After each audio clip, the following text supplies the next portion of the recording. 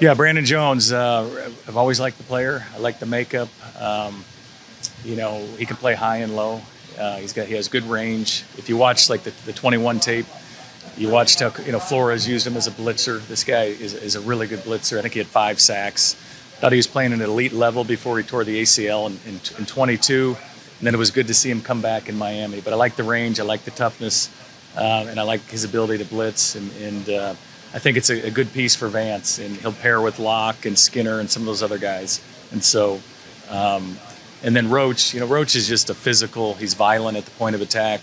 Uh, you know, he can play multiple positions. He's really going to help our run game. I talked about that. You know, at the combine, we need to we need to help our run game. So I think he does that, and uh, you know, he's got great makeup as well. It's like a couple of your top 30 visits are inside linebackers. What are you looking for at that position specifically? We're looking for uh, you know more depth to compete. You know, we have obviously with Alex Singleton, we signed Cody uh, Barton, uh, Justin Strnad. Um, I'm, I'm missing uh, Jonas. Jonas. So we, we like the competition. We just want to bring in competition.